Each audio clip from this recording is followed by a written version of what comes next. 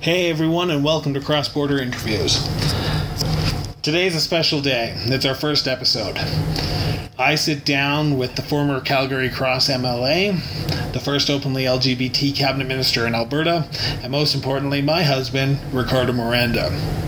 Over the next hour, we talk about politics, his time in government, and pressures of being one of the first three LGBT MLAs elected in Alberta. Also, we do talk about our marriage.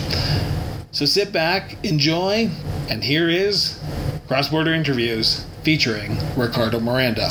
You've done this before. so, first off, I want to thank you for being the first guest on Cross Border Interviews.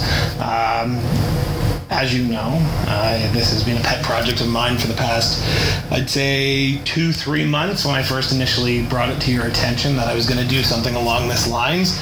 And I think your initial reaction was, I have no idea what you're talking about. Come talk to me when I'm actually awake.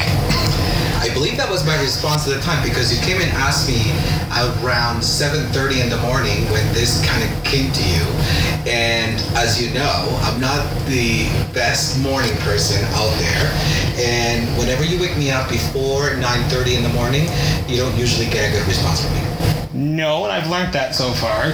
So uh, the. And by the way, congratulations. Oh. I am very proud of you. I know that you've been thinking about doing something like this for a while, and it's great to see you kind of put things together. And it, it's been really. Um, it's been really cool to watch you in action. So congratulations, and thank you for having me as your first guest. Well, who would I? Who would I? If I didn't have you, I know I would have heard about it for about a week, two weeks, three weeks, possibly for the rest of my life. Well, maybe for a couple of months. Maybe for a couple of months, but no, no. I and you know what? It's it's interesting because I have done podcasts before, but um, this is the first time I get interviewed by my husband, so it's kind of cool. The reason I'm doing this, and I think I've told you about this, and I have told you, but I just want to make sure that the listeners do actually hear about it. Um, as a former journalist, I hate, hate when you talk to someone and you cut their soundbite down to 30 seconds after a 20 minute interview. That was the worst part for me. And I thought, who, who, who best to get to know first than my husband?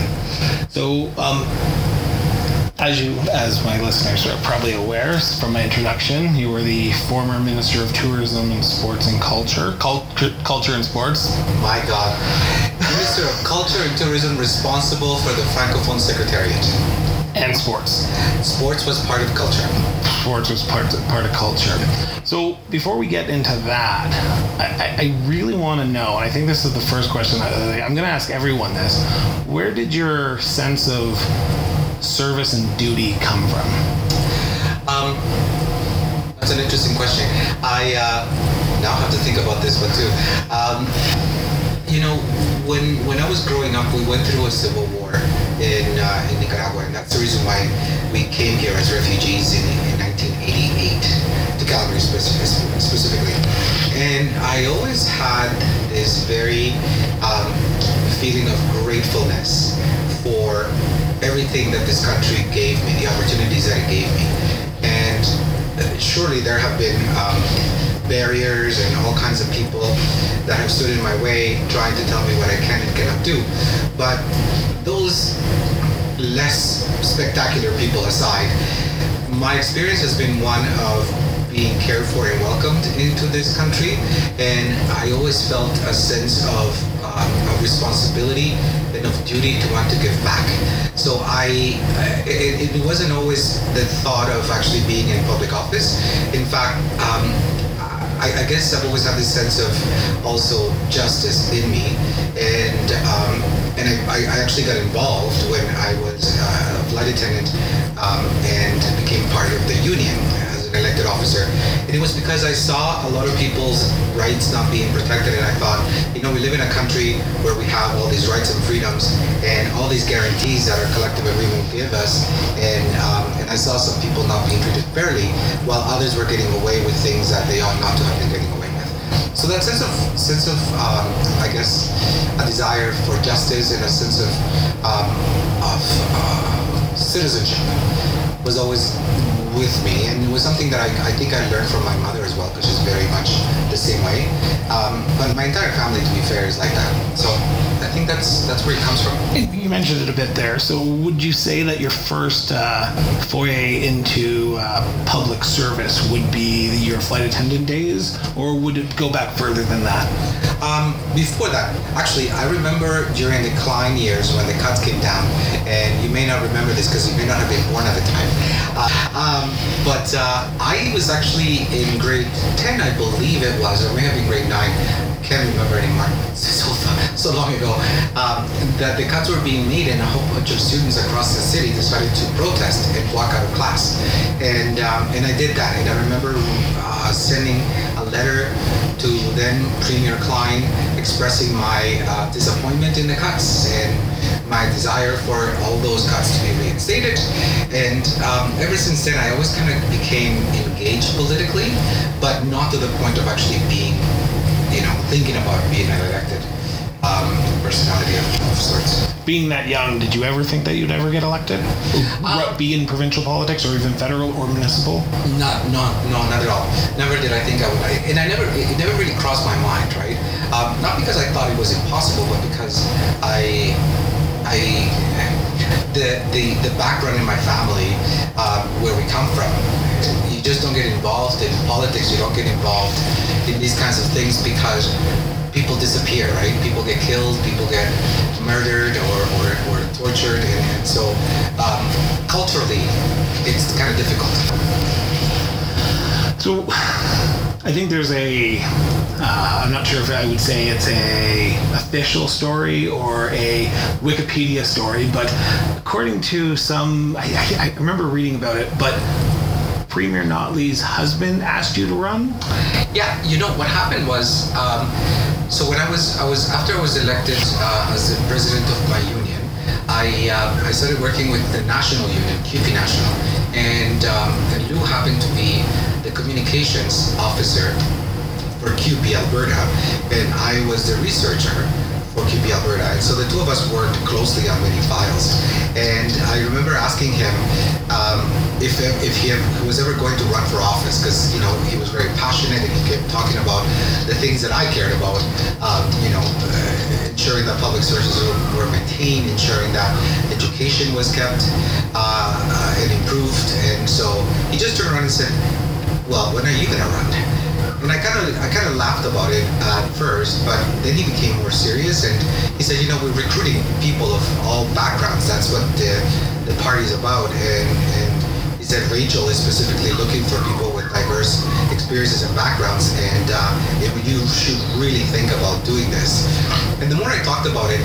Um, I was kind of bamboozled into thinking that it was a very strenuous process, and it wasn't.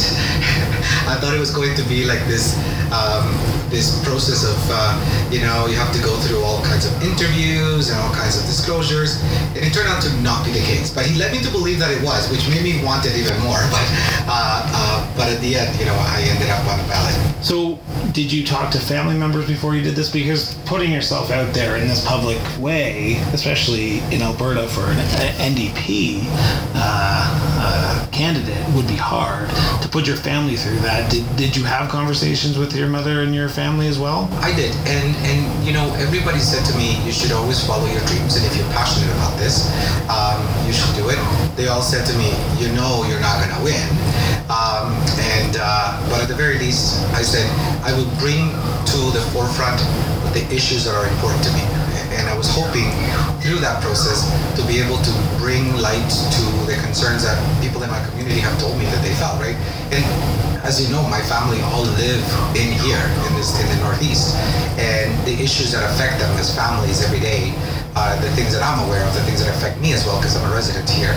Um, well, we are now resident here, um, and all those things were in my in my mind when I decided to run. And when I told them, they were they were very happy. I mean, all of them went knocking with me, and uh, and were very very. Um, my mother started cooking all kinds of stuff, and uh, she would sell it and make um, make money that way to uh, for my campaign. But we ended up, I think, I can't remember exactly how much we spent, but it wasn't much. It may have been six thousand bucks, I think. And you were going up against a pretty prominent uh, opposition, or at that time government MLA, well, a candidate running for MLA, Rick Hanson, the former police chief of Calgary. That must have put a little bit more strenuous uh, uh, atmosphere when you were out knocking on doors because he was so recognizable and you might not have been. But it, it wasn't. It wasn't even that. I um, first of all, I have a lot of respect for for um, former Chief Hanson.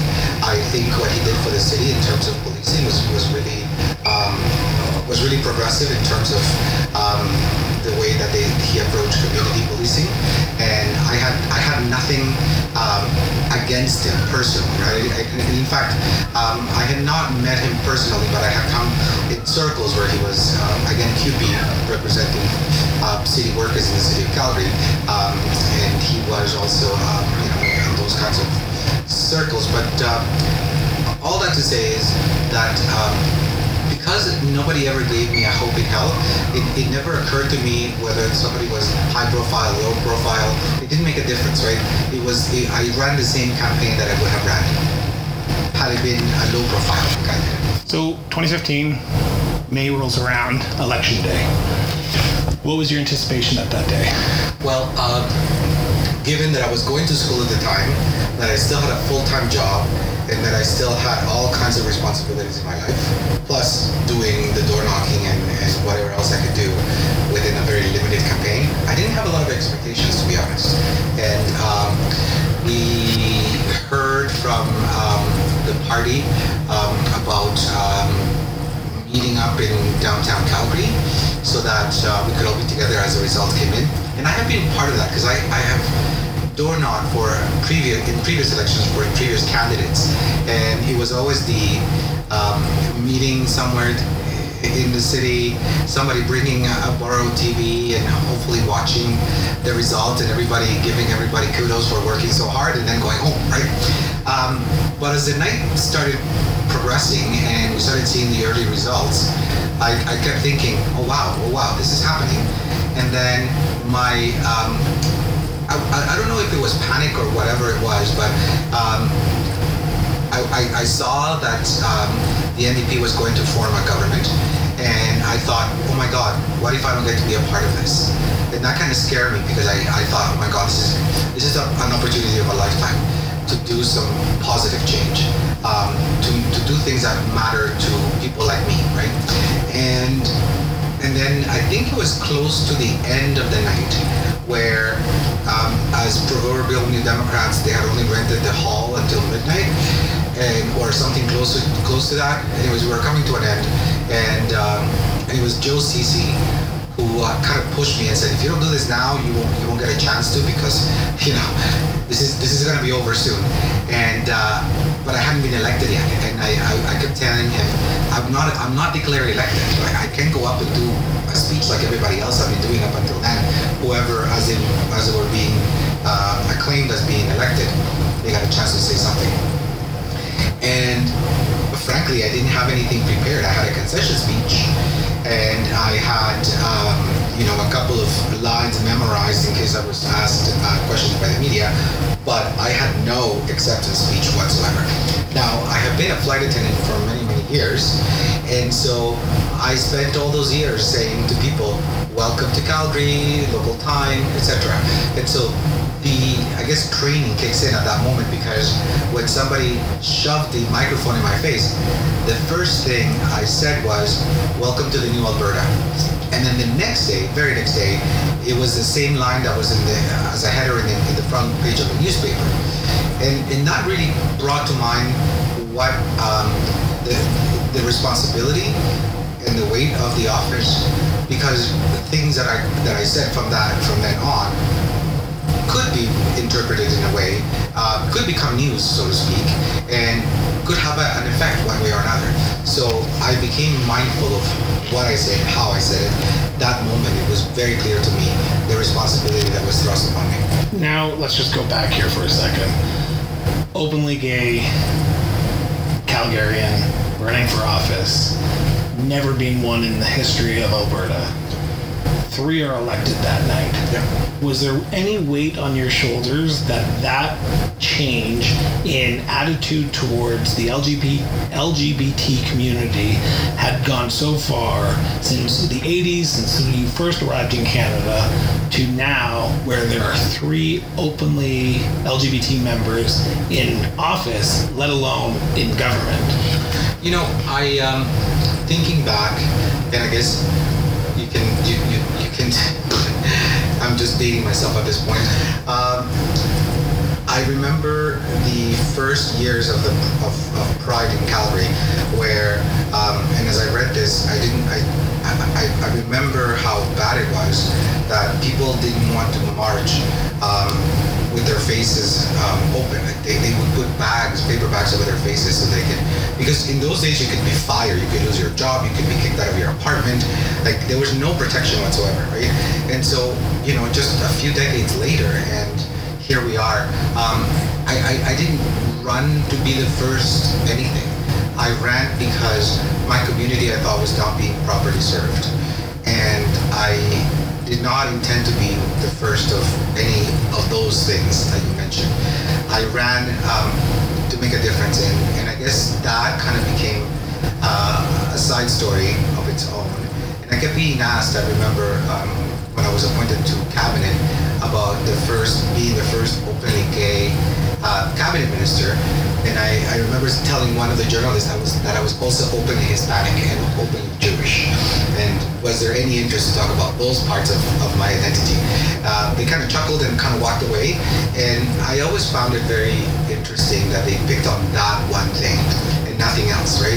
Because um, as far as diversity, um, you know, it's it's not that many times that you have somebody with the these many intersections um, being elected into office, um, let alone being appointed to cabinet. So that was um, that was a first, and um, I don't know. I, I, I it was a it was a, an issue of uh, chance, but also I think very intentional on the part of Rachel, because she wanted to have people in her um, in her cabinet that reflected Albertans, right? And she has been a very strong, and the and the NDP, uh, Alberta NDP, have always been very strong um, allies for the community. So this year, for example, in Calgary, I was very disappointed to hear uh, that they were not allowed to march because they have been able, they, they have always been able to meet the, the, the requirements uh, needed to march at these parades. They have uh, policies, have recruiting, and, and, having a positive environment. Um, the labor movement and the NDP having strong um, ties going back many, many years. The labor movement, um, when I was a flight attendant, if you can imagine, long before it became commonplace in most other workplaces, it was same-sex uh, benefits, and it was like nobody even batted an eyelash, right? Um, it was just a very welcoming workplace, very safe workplace um, for the most part. So it was it was daunting.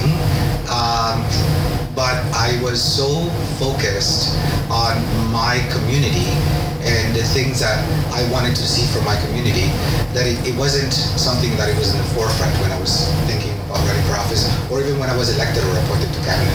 And if I'm not mistaken, you said that you were thrice cursed. Yes. It, it was probably thrice blessed, I believe. Blessed. Sorry, um, because you were a member of the LGBT community, you were Jewish, and you're an immigrant.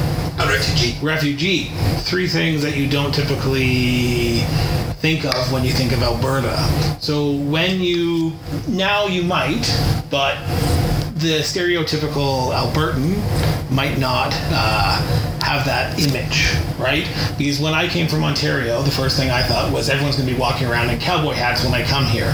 Never in my wildest dreams would I have thought that a I'd be living under a uh, Alberta NDP government in Alberta because you always heard about Ralph Klein Ed Stelmach, Alison Redford.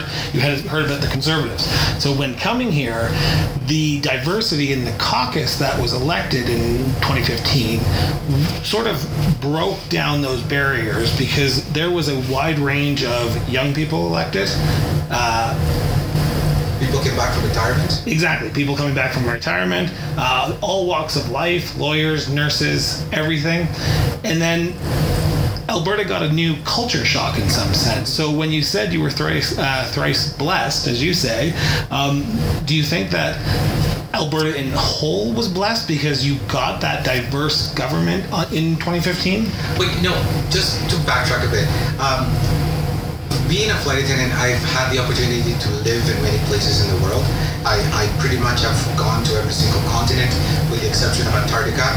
Um, as you know, you and I have already started our, our treks around the world ourselves. If I can get to cold places, I'll go. Um, and and the thing is, I've, I've always had the opportunity to live elsewhere except for Alberta. But And people have asked me, why are you still in Alberta? You should live in Toronto. You should come to Vancouver. You should come to Montreal. Whatever. Um, and the thing is, when I came from uh, Nicaragua and I came to Canada, Calgary was the first place I felt safe. And this was the place that I feel at home right? When I think of the, the country that I came from, the city where I was born, um, I don't think of those places as home. Uh, of course, there's a familiarity with that. But when I think of home, I think of Calgary, specifically the Northeast, because this is where my family memories are. This is where my childhood, for the most part, took place. Um, the happiest of memories. The memories that I have from Nicaragua are, are not so pleasant, right? They, they involve war, um, lots of challenges, and, and lots of very unfortunate things. So, um, so for me, Calgary, uh, Alberta, have always represented a really cool place to live, a really safe place to live. Now I understand that wasn't always the case for everybody, and I know that there were challenges. And to be to be perfectly clear, it's only during the stampede that everybody is required to wear a cowboy hat, but only for a specific period of time. Anytime uh, other than that, it's very very up to you. Uh, no one is forced to do that, but it's part of the, the it's part and parcel with the history, the heritage of the, of the city, and, and the history of the province. And when people ask me why are you still there, I would say, well, why are you here? Uh, there's so many really cool things happening in the city, in the province. Um, in terms of our energy sector, we're like innovators. We have a really amazing group of people working in the arts. So it's to, to me that it, it's a really outdated um, stereotype of who Albertans are. To be fair, um, because we've changed, we have transformed, and and you know, stereotypes are, are, what they are, and people make them out to be more than they really are, uh, unfortunately. But Alberta is a it's a really cool place to live, you know, and I I don't see myself living anywhere else. That's not true. I I can, I can see myself living in a place like Halifax or St. John's because it's of, it's got the same vibe, very welcoming, friendly, outgoing We will discuss that a little later. um, so let's let's get back to your government days. Um, you got the call from whoever you got the call for from about get going into cabinet. Who was your first call? Uh, the first thing I was told is you cannot tell this to anyone because if you tell anyone, we will not we will not call you back. so I didn't tell it anyone. In fact, I kept it to myself until I was told I could tell uh, someone the day before I was sworn in. And I'm assuming that was your mother? That was my mother, yes. And what was her initial reaction? Well, uh, she was thrilled. She was um, she was very happy. I can't remember exactly what what, it, what the words were, but um, I mean, I expected that because my mom has always been my biggest uh, fan and uh, the, the one who's always believed in me the most. Um, so yeah, no, it was it was pretty special. But I uh, when did it hit you that you were being elevated to a position that not many people in this province or even in this country have ever been at? And also, when did it hit you that the weight on your shoulders now, being an elected official, just looking after your constituents, now has a larger, more impact because you're making cabinet decisions on a day to day basis? Um, it didn't hit me until the moment I was sworn in, because up until then, I didn't think it was really happening.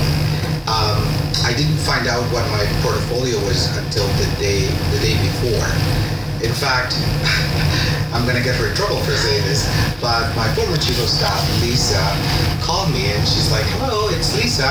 I'm your new chief of staff, and uh, welcome to Culture and Tourism." And I was like, "Oh, so it's Culture and Tourism?" She's like, "You you didn't know?" I'm like, "No." It's just like, "Forget I called you. Forget I said this." thing. so uh, so then I was like, "Oh my God! Like there's so many things within culture, and and and to be honest." Um, really at the beginning, after we were elected, Rachel took the time to call everybody and have a conversation. If you can imagine, she's a brand new premier. She's trying to put uh, a cabinet together. She's trying to put a government together. She's doing all these different things. But she took the time to call every single one of us and have a conversation about what we thought um, our roles would be within the caucus and what our ambitions, quote unquote, were. And I remember talking to her and I said, if uh, if you're looking for somebody to work in culture and tourism, I said, keep me in mind because I would love that portfolio. And I would keep dropping hints throughout. So I think she got she got the hint eventually. Uh, so I was really pleased with culture because that was the only ministry I actually wanted. Uh, if I was going to cabinet, and uh, Did you want to be in cabinet? I wanted to be I wanted to be somebody who could actually have influence in the decision making process, and I was I always felt that I was, but um, but in terms of being in the minutia of governance, um, the more I realized that there was a possibility for me to be in, in uh, cabinet, the more I thought that uh, I might be interested in doing it. But I, I, I never really thought I was going to be uh, picked for cabinet, right? Because who knows what goes into that decision? I, I, I still to this day don't know why she picked me over anybody else. Now, tourism and culture, one of the most, uh, I, I wouldn't say low profile, but it's not the ones that, like finance, energy for Alberta, it's not uh, prominent in the day to day question period. So when you were dealing with your portfolio, you were crisscrossing this province, meeting with stakeholders. Um, how did you bring your uh, portfolio forward at cabinet meetings? Did you talk to? Did you look at it more as in we need to make sure that tourists come here, or was there another way that you looked at it to make sure tourism and culture and sports and francophone affairs wasn't forgotten? Well, um, going back to what I was telling you earlier about uh, changing people's perceptions about the stereotypes that they held about Albertans, that was one of the things I told uh, Rachel I wanted to do. I wanted to do something that was going to change radically how people thought of Alberta and Albertans when they thought about coming here or visiting or for business And I said, we, we have an image issue because when people think of us, they don't see the natural beauty. They think we're an oil refinery from one end of the province to another, right? That's the image that people have. That's what I had. And, and, it's, and you're not wrong in terms of um, what people outside who've never been here think of when they think of Alberta. And, you know, we, have, we, we needed to change that. I, I think we have, we've had a story told not by us, but by other people, special interests, unfortunately, sometimes, um, and it has distorted what um, what Alberta and Albertans are really about. And um, and so that was one of the things that I wanted to do, change the outward um, experiences. So when you look at the Travel Alberta, for example, um, the, the, the videos that we shot, you will see, for example, two young men holding hands going into a festival, right? Um, giving giving people the imagery that uh, LGBTQ people are welcome here. Uh, one thing, um, I was part of um, second the second province who actually instituted an Indigenous Tourism Association because people want to hear the stories of Indigenous people. They want to know uh, from the people who know the land best what is there uh, to know and what is there to, to understand and appreciate. So, um, so all those things that I worked on was always with the intention, uh, ultimately, of projecting a new image, the, the, the more true image of what Alberta really is today. Um, and I will say because Rachel has a deep appreciation for the arts, my ministry never flew under the radar for her. Um, she was very, very involved and always asking, asking me questions about different files that she was interested in. Again, her daughter is a dancer. She has always been uh, one to not ever miss a, um, uh, folk uh, festival uh, in either Edmonton or Calgary, um, and, uh, and she has uh, she, so she has a background, right? And so she was always interested. And she told me once that if she wasn't premier, it was culture and tourism, the, the portfolio she would want to have. And I told her, back off, sister. You got a job to do. I got my job.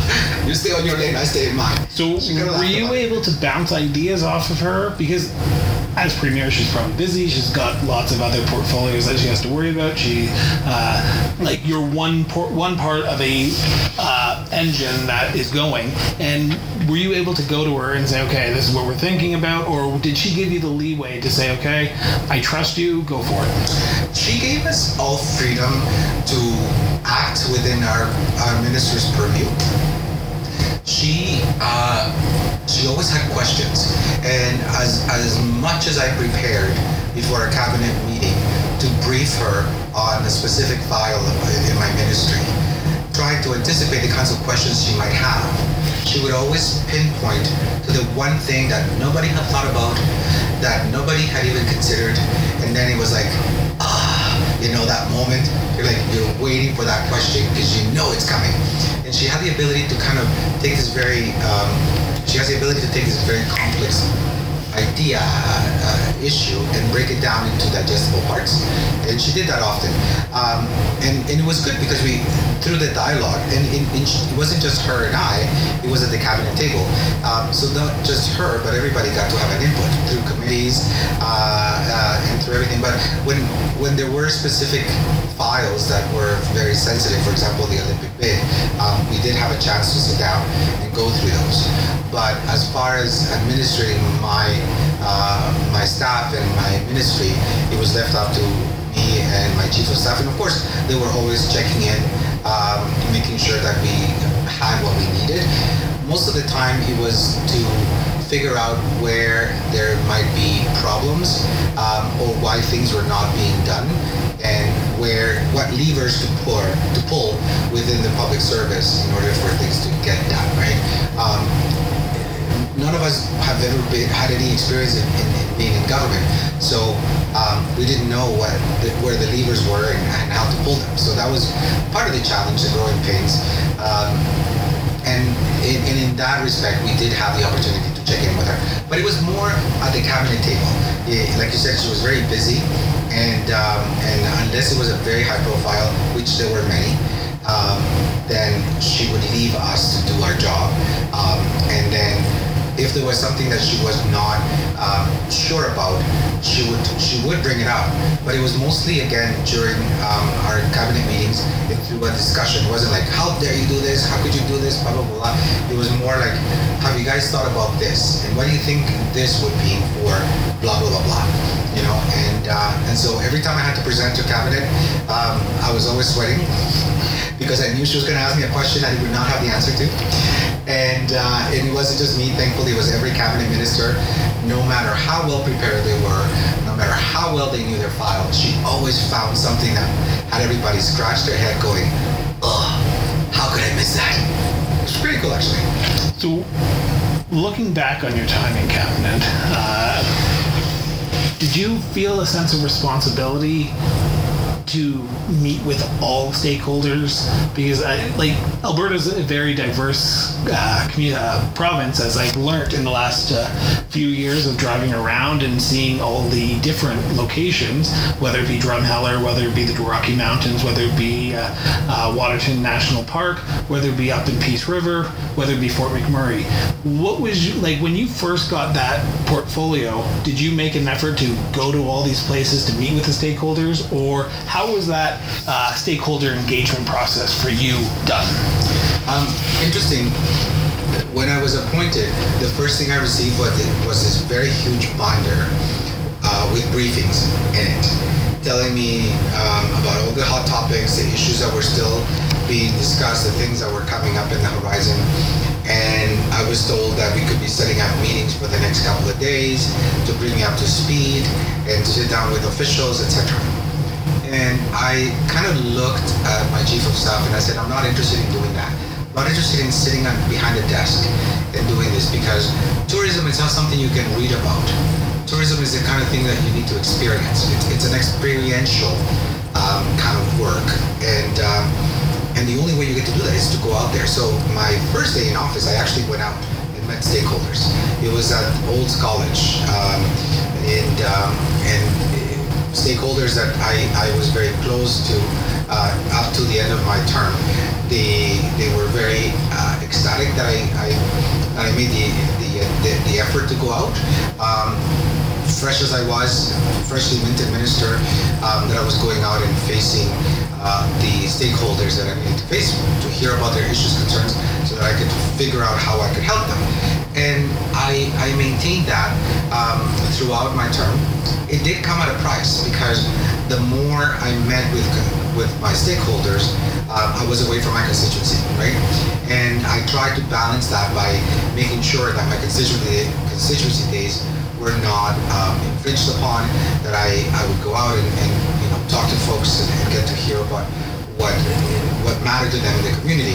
So it was a, a, it was a very fine balance, but it was a very hectic schedule as a result. I was always on the go, and I was always trying my best. And I remember uh, at the beginning them telling me, "Oh, just you wait. You're gonna one day you're gonna say no to something."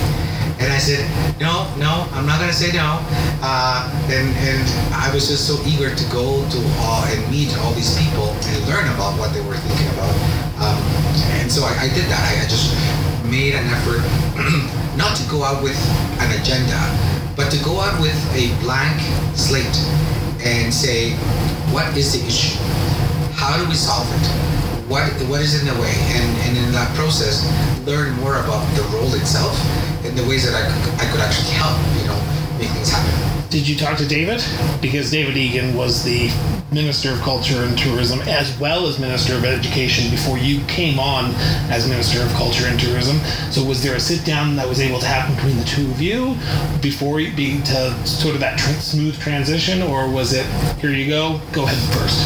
Uh, no, we didn't have a chance to talk briefly had a conversation about the, the top five things that um, he was working on, but he didn't have the time to dedicate to culture and tourism um, a lot of attention because there were so many things happening in education.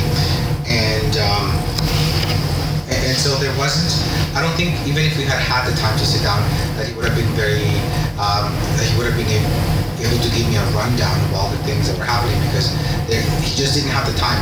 Which is the reason why they didn't split the ministry in the first place. It was a lot of work, and um, this one. I mean, every minister goes out and meets with stakeholders. That is that is the main uh, job um, to hear from them and, and, find out what's going on. But um, with culture and tourism, again, they're very experiential kinds of. Um, it's an experiential industry, and you can't just read about it. You have to experience it. You have to go talk to the people in the front lines to hear about what's happening more so than getting a synopsis from uh, a briefing note or something like that. So it was it was uh, challenging. It was very, challenging. but to me, I found it to be really exhilarating because here I am. I lived in Canada in Calgary uh, for all these many years, and it was the first time I had been to some of these cities that I like literally hours away from me, even though I've flown hours to go to the other side of the world, right? Like so it was I'm like, no, sometimes you don't know your own backyard, right? And and there's so many cool places I, I, I saw in my travels and um, and everybody kept asking me what's your favorite place and I just I, my answer is still to this day is every inch of this province because I did not go anywhere where I did not find something that made me feel in awe and wanting to go back over and over again. So the next set of questions I'm going to ask you are a little bit more personal, and I hope you're okay with that. Being single, being elected, it must have put a strain on a potential dating life that you might may or may not have. Because I know speaking know, to you, tell me.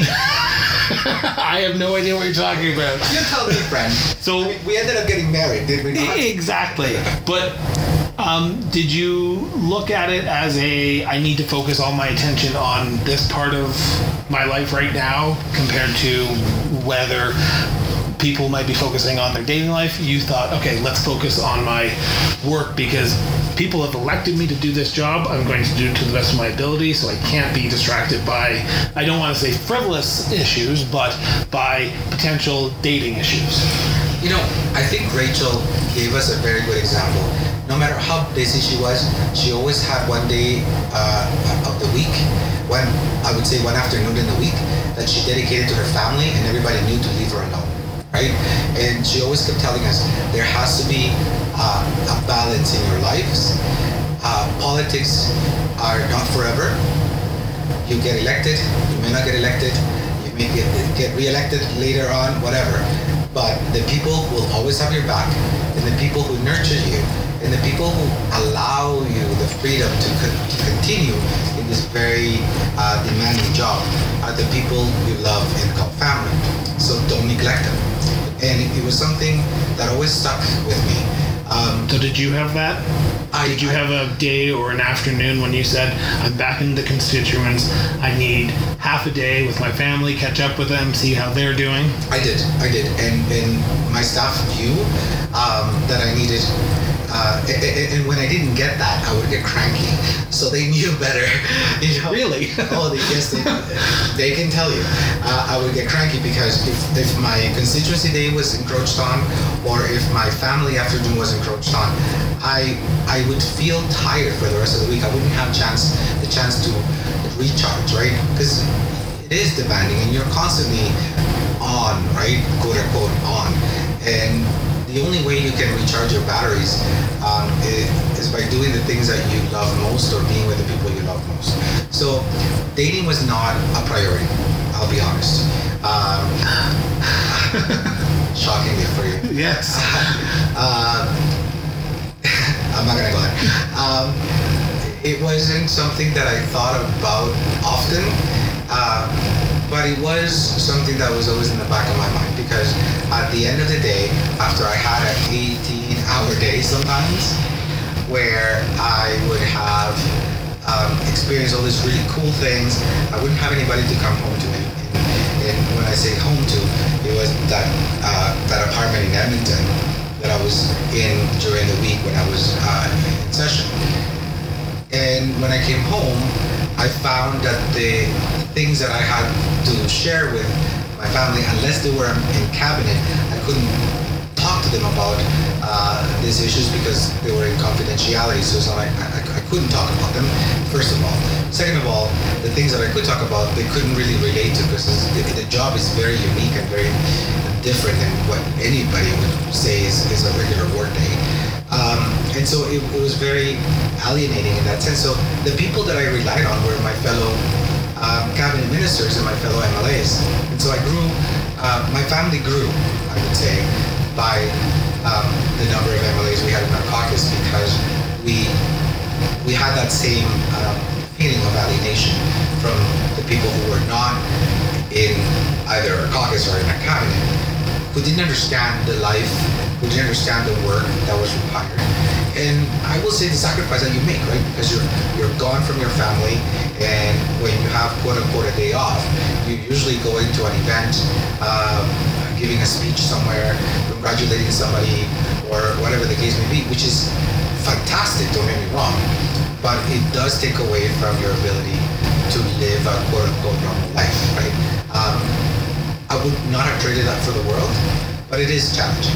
It was challenging. So it wouldn't be my podcast without me talking about me for at least 20 minutes of my time. Of course. of course. So let's jump forward to 2017.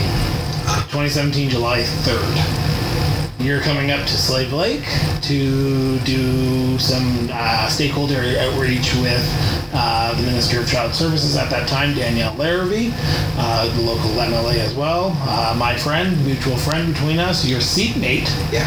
Um, and she told you, "I want you to. Intro- I'm going to introduce you to this guy." Or how how did that work? Because I I've never actually asked her because I'm afraid because I don't want to know what she told you about me.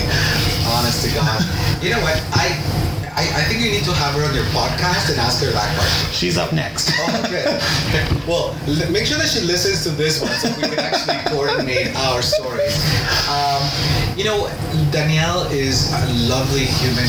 She's a very passionate and compassionate person, and um, and like many, but like many others in our, uh, our caucus and in our cabinet specifically, um, we, we were facing challenges in terms of uh, meeting people because when you're going out and meeting uh, stakeholders, it's on a professional level, right? You have to keep a professional distance. So it's not like you can actually um, intimate with anybody because you never know um, if they could potentially use the information that you're sharing uh, for their businesses, which creates a conflict of interest, you know, like all these different things that kind of pop up. So we I would say, uh, I, actually, I should. I can only speak for myself. I kept a very intentional professional distance from everybody that I met, and it was both for the benefit of never getting any blurred lines, and also because I understood the potential conflict of interest and and the nature of of the um, the dynamic, right? Minister, uh, stakeholder and it could be challenging. So I, I so so from that perspective, it wasn't something that I I, I ever thought about um, engaging in. What what ended up happening was she said I told her um, how much I wanted to come and see her constituency because I had seen a picture of her kayaking. Now I have only done I had only done it a few times before that, but the times that I kayak I loved, and I saw the pictures of her kayaking the year before that, and I said, oh my god, you know, I need to go out to Slave Lake and kayak. Um, it looks like a really cool place to do that. It's just I love it. You, you need to come out. You know, there's so many potential uh, tourism attractions there. We need more folks to come up to Slave Lake and um, like we are uh, a hidden gem, right? We are one of those hidden gems in the province. And she's right. Slave Lake is a hidden gem. It is called the Jewel of the North for a reason. Oh, there you go. Uh, especially, and the thing I learned when I was there, not specifically to you, uh, which is the really the question that you're trying to get me to answer, but uh, as a good politician, I will ramble before I get to that. Exactly. Uh, uh, the, but but Perillo, uh, one of the cool things I learned from uh, what the municipality does for uh, to make the beach accessible is that they actually will provide equipment for people who have um, accessibility issues to be able to enjoy the beach. And I was like, oh my god, that is so cool because you don't hear about that um, being done proactively in other jurisdictions. And I thought, wow, how progressive. And of course, sitting down um, on on the beach on that sand, looking out into the lake. I, I could see myself going out swimming and doing all kinds of things. Like it was it was just a beautiful, beautiful sight because she took me up to um, to a hot to like a- Marten Mountain, which is go. the wildfire lookout as well. There you go. And, and I- looking out, I'm like, oh my god, this is breathtaking. Um, so there were so many cool things in a very small area that um, that I had driven past before, but I never stopped before. And uh, and, and so I was really excited about that. And uh, and she told me about you. Um, Finally, about me. but enough about you. What do you think about? what do you think about me? Um, the uh, what, it, what she said was there's somebody who is really keen on meeting you. He's a really nice guy, and oh by the way, he's single. And I kind of raised my eyebrow and I said, really? Okay. And then that first day, you did everything but talk to me right? Because she said she really wants to talk to you, he wants to meet you. Because you had posted prior to that, almost a year before, a picture where you came to my office and you a, took a picture from the door in my office and you posted and you tagged me on Instagram, I think it was. And I was like, hey, next time say hello. Not even knowing who you were, right? I was just thinking you were another uh, person who was taking a tour of the legislature and you had come upon the ministry, uh, the, the office of the minister, the minister's office on the ledge. And uh, you tagged me and I said, you know, like we have an open door policy, come on in. I may not be able to see you, but you know, whatever. Um, so she said to me, like, he's a really nice guy, and by the way, he's single. And I looked at her, I'm like, what does that have to do with it? Oh, he's gay. And I was like, ah, I kind of laughed about it. Um, and uh, and then she she insinuated that you wanted to meet me. But that very first day, you did everything but talk to me. I even uh, went out of my way to say hello to you and shook your hand, and I think I saw you run away faster than I've ever seen anybody run. It was kind of funny, and I kind of laughed about it because afterwards she asked me. So, did you talk to him? Did he say anything? And I'm like, uh, no. When I went to shook his hand, he turned around and ran away. And she's like, oh, this is ridiculous. So she did something. She took it upon herself. To, I think there was about a 20 minute yell, yelling a text message that I got of why were you so scared to talk to him? Uh, and then uh, she said to, she sent me a text. She's like, "This is his number. Uh, I give up, or something along those lines. You call him. You get that schmuck to call talk to you." And I'm like, "I'm not calling him." Uh, and anyway, the rest is history. The rest is history. Um, so Dot dot dot. The rest exactly. so we get married. We ask the Oh, you're pre- really jumping. ahead. Oh, we're jumping ahead. We're jumping ahead. The courtship is all well known, okay? You can just follow it on whatever you want. We kept it quiet. So if you want to talk about the courtship, but we kept our courtship quiet because, from my perspective, I didn't want to uh, be a, not an issue, but be a Oh, you are an issue. Oh wow! Thanks, husband. Um, I didn't want I didn't want to be a distraction to uh, your uh, your political career, so we kept it quiet. And then the weekend of the NDP convention in Edmonton, I popped the question. Uh, and we kept it quiet. Now we I don't think that's. well, actually, that's untrue. That's very untrue because I said to you, you can tell one person, and by the end of the night, all of cabinet knew. I'm 90% sure all of your caucus colleagues knew. And by the time we got to the bar for the uh, karaoke for the NDP karaoke, 90% sure everyone in that oh, that room knew as well. I was I was getting married, dude. I was like, woo. Anyway, go on. So we we decided to uh, not make an announcement when we first got engaged because we wanted to be a private event. Yeah. And then we had a discussion. I want you to talk about it because you explained it a little bit better than I do. But why we decided to come out on December 6th, come out, quote unquote, come out of the marriage closet on December 6th to everyone to say, hey, this is this is happening.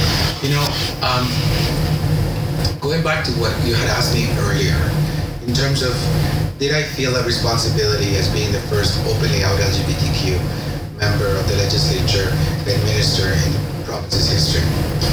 And I did. Um, and it was something that, that, that was always there. But I did not want to be labeled as quote unquote the gay minister, right? Because again, um, there were so many other things about me that I think are equally as important, if you can call it that. And I'm a very private person, right? And I think you are as well, very private person. But we started, I, I remember seeing a couple of tweets and a couple of things that were happening with, with respect to the GSAs and the discussion that were taking place. Now, the first call that I received after I got the keys to my MLA office was from a constituent um, of mine who was uh, who was trans, and they wanted to tell me how happy they were that they actually had somebody who could understand what they were going through.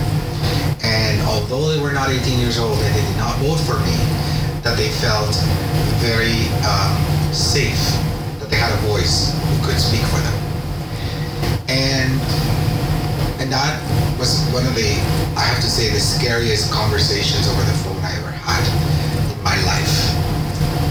The the thing about us was that we could have easily done the whole marriage under the radar. Nobody would have been the wiser. Um, Emily Sweet, for example, got married. She kept it under the radar. They did not make the news. Did, nobody ever knew about it because, she, again, she's also a very private person. But the thing is, I remember being in the closet and being that scared young man, afraid of being outed and afraid what would happen to me if I was outed. Lucky for me, I had I didn't know it at the time, but I uh, and it was unfortunate because it would have made my life easier. But my mother was like, "Eh, what are you gonna do?" Right? Like nothing. Like she's a perfect Jewish mama. I'm perfect in her eyes, you know. So you know, there's nothing I could possibly do wrong in her eyes. Like I'm just perfect. Of course, I'm not, and I know that. But you know, um, thing is, I thought that we owed it to our community to show folks who were who were um, spewing all this vitriol online that it was possible to be a loving, committed, monogamous relationship, willing to take that that next step into marriage, married life, and doing so in a way that did not bring about the end of civilization as we know it that didn't change the fundamental fabric of our of our culture and of our province. That didn't, you know, somehow undo whatever it was they thought we were we were undoing, and it was okay. And I think the one person who was talking about suicide really brought to me uh, the importance of having us be open. And I think, if I remember correctly, I talked to you about it, and you were hesitant at first because, again, you were saying to me like, you know, we're gonna put a target on our backs. People are gonna take shots. Are you ready for that? Well, and I think that's most most of that came from from my perspective is uh, as Because after after we, we were uh, um, we came out, you got attacked. Yes. In, in Slave Lake. I remember that. Yes, and I was I was walking around actually from Danielle's uh, office. I, I wasn't walking from her office, but near her office. Someone pulled down, rolled down the window, and yelled, "You're fucking fag! You're going to hell!" I'm gonna have to bleep that last No, word. it's an, it, this is it. So when I, because from a rural perspective, I came from a rural area in Ontario, lived in Lloydminster, lived in Slave Lake, lived in Foz. You hear things, and there are very uh, religious people, and nothing against them. I'm a religious. Exactly, but they there was an attitude change when people found out that I was gay in all these communities. It was, oh, you're gay, we're not going to talk to you anymore. So originally, when we had this conversation about being open about the marriage, I was very hesitant because I've seen in the past, and I know from my experiences that it doesn't go over well that well sometimes, and It's no different in the big cities. It's just that we have a bigger insulation. Exactly. And I think when I saw that, we came out and I would say 95% of the responses that we got were positive. We did get a few that were not. But Seven pages worth. exactly. We just had to ignore it. I, I tried to ignore it, but I, I found it. Let me put it this way. If I if you recall what I said to you was, just think of this. If we do this, we're gonna keep those haters so occupied, and they're gonna be turning their hatred towards us, and they're gonna leave the kid down the street alone, Yeah. and they're gonna get a break. And I I had hoped somebody would have given me a break from that, and and that was a responsibility that you and I owed to our community. I thought, and it was also something that um, that we needed to do for the people who are still living in fear, because there are those who are still living in fear. We know who they are. Some of them much more closeted than others. Some of them, um, unfortunately, being the most homophobic taking the most homophobic um, positions um, in terms of public policy and having the ability um, to, to set policy in motion. Knowing full well that everybody else knows and still respects because people have asked me, why would you say it? And I said, because I respect the right to people to come out on their own time. I will never, ever said uh, or, or do this horrible thing that I fear all my life, which is to be to be um, outed before I was ready, before I had what it took to understand um, the implications and ramifications and the consequences of doing that.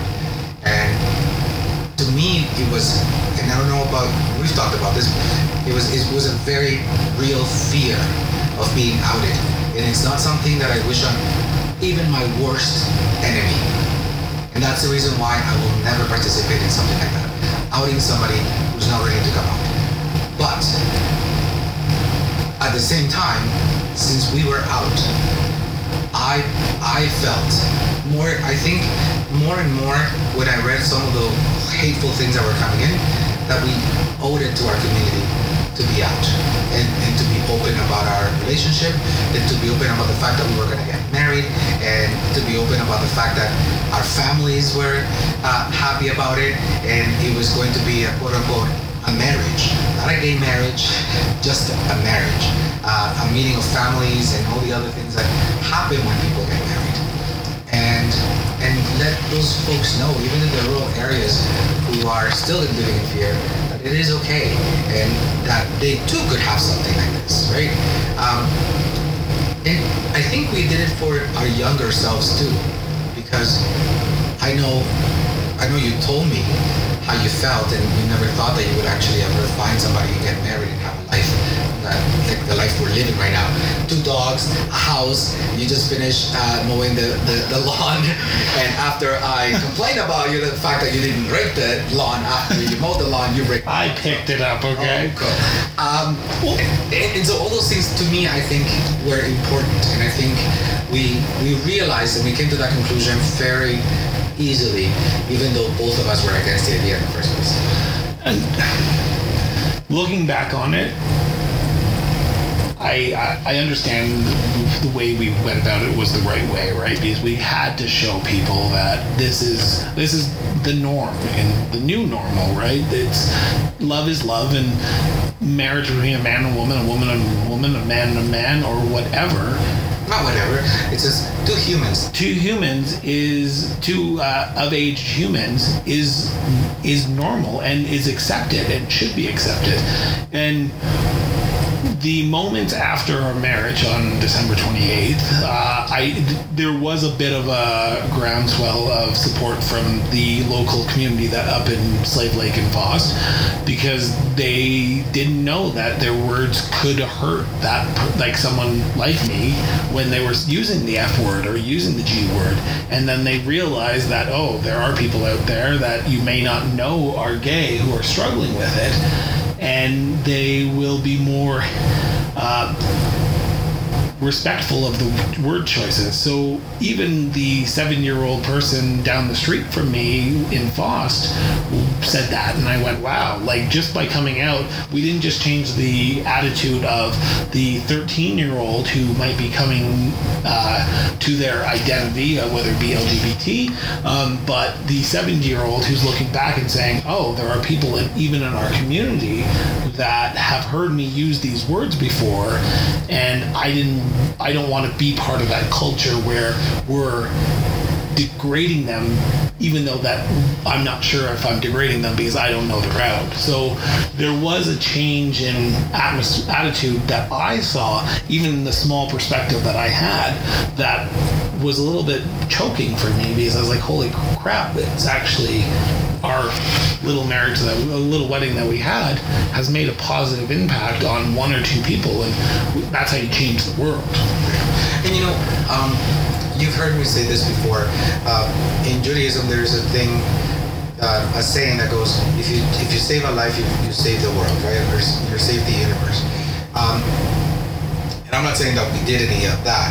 What i'm saying is we allow somebody to give themselves the opportunity to think that they could also do something like that and um, actually watch it take place, right, and unfold um, like that in public. And did not bring about the end of, of Western civilization as we know it. it. It didn't, you know, result in some mass chaos and some horrible um, things like I don't know what it is, quite honestly, that they expect um, a, a, a, two men or two women getting married would actually um, produce. But there are people out there who, who really think that it, it is like I don't know this end of t- end of days, whatever. Um, being a religious person, I don't re- I don't understand that because I can't really relate to their interpretation of of of, uh, of their faith. But whatever. Um, All I know was I loved you and I wanted to marry you. And it didn't matter whether we did it in front of um, hundreds of people. Which, let's be honest, I wanted like 12. Don't you start with me. From the beginning, I told you, at the very least, it'll be 54 plus my family because I was inviting all my colleagues from from, from uh, the caucus. And you said, what about uh, uh, limiting it to 12? And I told you, listen to the words that I'm telling you. 54 at the very least, plus. Um, But whether it was a small wedding or a large wedding, we all ultimately didn't care because all we really wanted to do at the end of the day was to say our vows. Well, how nervous I was that day to say my vows. We wanted to say our vows and proclaim in front of the people that we care about that we love each other. Yeah, and to be clear, my mother, when you went in for the, uh, you may now kiss each other, seal the, your marriage with a kiss, and you went in for like a five minute kiss, I think my mother may have been a little uncomfortable. Uh, I'm not percent sure my great my grandmother was uncomfortable, and my parents, and everyone in that room. Everybody was uncomfortable, including me. I was like, alrighty then, here we go. Anyway, It was uh, the first time we kissed each other as husband and husband. Okay. uh, in front of all those people, yeah. Um, what was it? Well, let's be honest. You did try to go in for a kiss before that, though. That's because I was getting ahead of the, the, the You were getting ahead of the officiant, the premier of Alberta. who told me, whoa, whoa, whoa, wait until I tell you it's okay. Anyway, uh, So my last question, though, is this: Looking back on your time in office, being who you were, uh, openly gay man, still the same person. are you? I am. I always was. If you remember, I told you this from the beginning. I, I am none of those. I am none of those titles. I am none of those positions. I am none of those. Any of that. I am Ricardo. And because you tried calling me minister at the beginning, and I told you to call me Ricardo, uh, because those things were the things that I did, but not who I am. Right? I I worked. I I, I performed the role of minister, but that's not who I am. It was never Ricardo um, became an MLA. It was always Ricardo working as an MLA. And I was very clear about that from the beginning. I've always been clear about the fact that if you let go of your of your sense of self, you get lost. And I never want to be lost because it took me a long time to find myself. And I'm quite happy with who I found. According to you, there are some perks to be worked out. Whatever. we'll work on that. Yep. And by the way, do not think that this podcast substitutes for uh, mar- marital uh, therapy. Uh, yes, it does. this is my Uh, therapy session by, brought to you by Chris Brown. because we need to talk about the fact that I went and got you Armani, and you asked me what is Armani, and the thing is still sitting up there. A, gla- a, a, a cologne, Armani cologne. Oh, is it cologne? Oh, you. I thought it was for shoes. I put it in my feet. I, honest to God, you know what? I don't even want. You need to end this right now because we need to have a serious conversation. Okay. But honestly, thank you very much for doing this. Thank you. Love you. Love you.